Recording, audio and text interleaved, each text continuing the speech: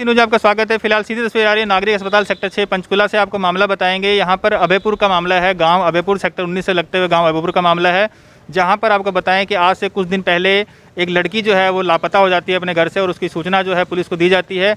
उस सूचना के बाद एक लड़के को आज अरेस्ट किया जाता है। पूरा मामला बताएँगे आपको। लड़के इंद्रजीत लड़के का नाम बताया जा रहा है और वो हरदोई का रहने वाला है। आपको ताज्जुब वाली बात जो है वो ये आती है कि उस लड़के की पहले से ही दो शादियाँ हैं। लड़के की उम्र करीबन 28 साल बताई जा रही है जिसको नागरी अस्पताल सेक्टर छः में उसका मेडिकल कराने के लिए और कोरोना का टेस्ट कराने के लिए लेकर आया गया था। अब देखना यह है कि उसके ऊपर जो कार्रवाई की बात करी जाती है तो उसके ऊपर जो धाराएँ लगी हुई हैं वो धाराएँ बता देता हूँ आपको मैं। तीन सौ तिरसठ तीन सौ छियासठ और पाँच सौ छः आई पी के तहत जो है उसका केस दर्ज किया तो यहाँ के चौंकी सेक्टर नाइनटीन से क्या बात कही गई है? सुनिएगा जरा। जी। नमस्कार जी। ये एक आपने पकड़ा है एक लड़के को। क्या पूरा मामला था बताएँगे जरा कुछ? सर ऐसा था एक हमारे पास था ना मुकदमा था। चौवन बटा इक्कीस जिसके अंदर एक लड़की चली गई थी।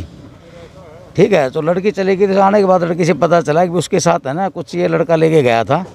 और ये लड़का आज हमें अरेस्ट कराया है और हम पॉक्सो एक्ट के तहत इसका कार्रवाई चल रही है अभी। सर नाम बताएँगे लड़के क्या नाम लड़के का नाम इंद्रजीत है जी।